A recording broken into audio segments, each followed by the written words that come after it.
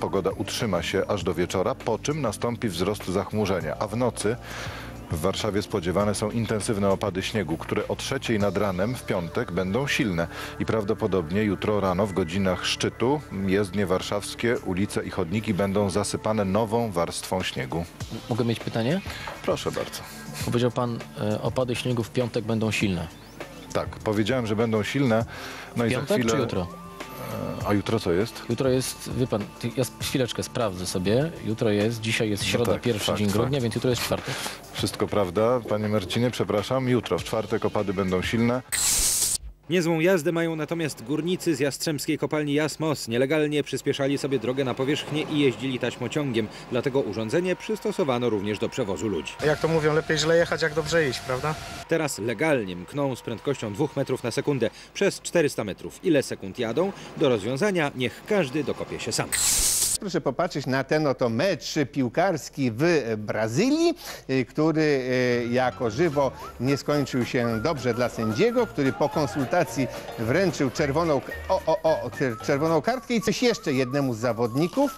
No i poniósł tego srogie konsekwencje. Sport to zdrowie, proszę Państwa.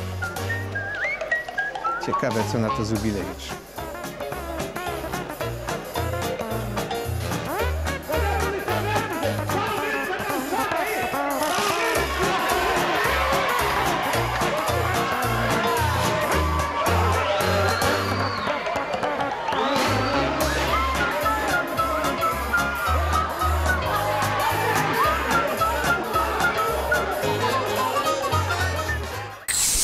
Długie i skomplikowane tabele kaloryczne Japończycy będą mogli wyrzucić do kosza. W odchudzaniu i liczeniu kalorii ma teraz pomóc nowy, rewolucyjny program, który będzie można zainstalować w telefonie. Wystarczy zrobić zdjęcie potrawy, a telefon już sam wyliczy, ile nasz obiad ma kalorii. W bazie danych jest ponad 100 tysięcy dań. Dodatkowo telefon poinstruuje, ile jeszcze można zjeść i zaleci ćwiczenia fizyczne. Mam nadzieję, że ta aplikacja pomoże ludziom zmienić styl życia. Program wymaga jeszcze ulepszeń, nie potrafi bowiem odróżnić małej przystawki od dużej porcji. Ma też problemy ze skalkulowaniem kalorii kilku małych dań na jednym talerzu. No i nie odmówi sobie za nas ulubionego przysmaku. Ciągle nie mogę się przyzwyczaić, że jak środa to Szymon Hołownia, a nie Bartek Węglarczyk, ale miło Cię widzieć o poranku. Cześć. O, taki cios na samym początku. A to dopiero początek. W takim razie ja omówię gazety, tak, Robert? Proszę bardzo. Mogę? Dobrze, fajnie. Mam sobie pójść? Więc e, e, Robert, e, Tak? omówię gazety, dobrze? Tak, dobrze. Więc w Gazecie Wyborczej jest... Ale ja też tu jestem. Teraz? Jola mówi, Teraz że mi to też tu mówisz? jest. Możesz mówić do mnie Bartek, jeżeli ci się to podoba bardziej na przykład.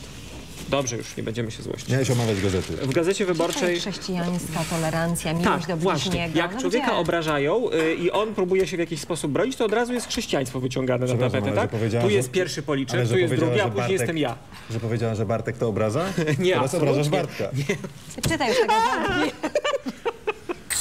Niedawno, proszę Państwa, zostało mianowane dziedzictwem, spuścizną kulturalną ludzkości przez UNESCO. Co? No to proszę popatrzeć na ten filmik, który pokazuje, jak zbudować wieżę. Niezwykłą wieżę, ale wieżę ludzką. Przeważnie takie budowle odbywają się w Katalonii podczas tańczenia sartany, ale nie tylko. To akurat nie Barcelona, tylko Tarragona. No i trzeba przyznać, że wymaga to nie lada jakiej maestrii, równowagi, y, samozaparcia, wytrzymałości, krzepy fizycznej. No i co się dziwić, że na samym czubku stają osoby, powiedzmy sobie, wzrostu niedużego.